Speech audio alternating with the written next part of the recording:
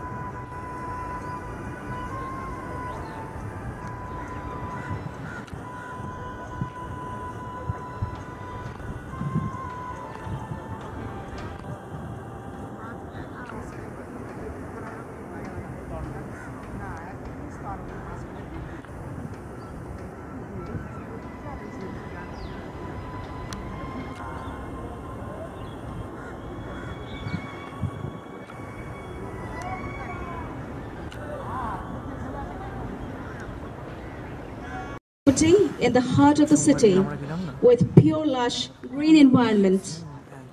It is not only a popular destination for marriage functions, but various types of events are held regularly here, such as musical programs, spiritual programs, doctors' conferences, lectures on various subjects, exhibitions, etc. And uh, today, as we are gathered here to make this a very special day, খুব সুন্দর একটা দিন। শুধু একটা কথাই বলব, ছোটবেলায় বাবা মাকে বলতে শুনেছি, তখন আমরা সত্যি ছোট। এই জায়গাটাতে কোনোদিন কিছু হবে কি? সেই বাবা মাই আমার দিল্লি প্রবাসী, পিসেমশাই, পিসিমাকে কলকাতায় নিয়ে এসে বলেছেন, এটা আমাদের PC Chandra Garden thanks a lot sir and everybody the team PC Chandra for your patriotism thanks আমার অনেক শুভেচ্ছা রইল। আমাকে এখানে ডাকার জন্য আমার অনেক ধন্যবাদ আপনাদের।